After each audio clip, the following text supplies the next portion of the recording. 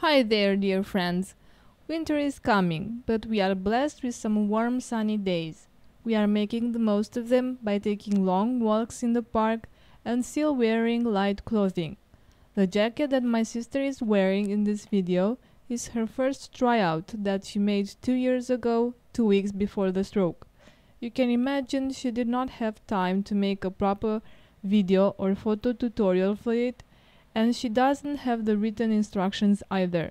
However, she will give you all the details that she remembers in the hope that it will help you and give you inspiration to make your own jacket. The piece fits an M and L European size. She is about 1.60 meters high, so you can take notice of its length. She used approximately 1.2 kilos of worsted variegated yarn that she got from a local shop in our hometown. The yarn is unbranded and it is end of the line yarn. You can use any similar yarn from brands like Red Hearts and so on. She used the 6mm Tunisian crochet hook European size. She got it from a Romanian website called Breslo. If you are Romanian, my sister and I have crochet hooks for sale on Facebook. You can find the link in the description box below. She used Tunisian stitches to make nearly the whole jacket and single crochet stitches to make the edges and the collar. She started with a beginning chain of 74 chains for the back. She decreased the number of chains around the butt, following the line in the middle. Then she decreased the number of chains once again to create the space for the arms and shoulders. She used 37 chains for the front right side and 37 chains for the front left side. She only decreased the number of chains around the arms, shoulders, and collar.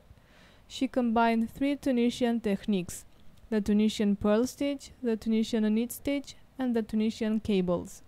She used the Tunisian knit stitch to make the sleeves. After she finished the back and front sides, she joined all of them together and attached the sleeves directly after which she began working on the edges and collar to finish the jacket. She attached nine buttons on one side and two buttons on the collar because it twirled. And ta-dam! Her first crocheted jacket was finished.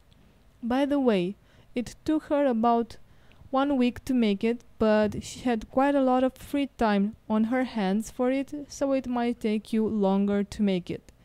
She hopes you like it and if there are any other details that she forgot to mention and you would like to know, go ahead and ask her by co commenting below the video. You will also find links to her tutorials that will teach you how to crochet the Tunisian stitches in the description box. She doesn't have one for the Tunisian cables, but you will be sent to the tutorial that uh, taught her the technique.